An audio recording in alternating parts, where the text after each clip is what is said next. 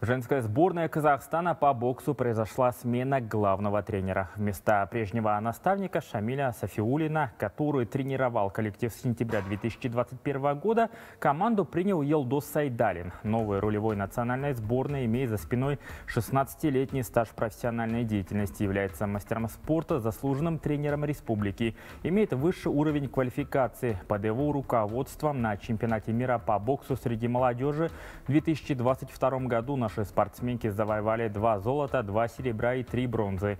Неплохие результаты его подопечные добились и на чемпионате Азии, а также первенстве планеты среди юниоров.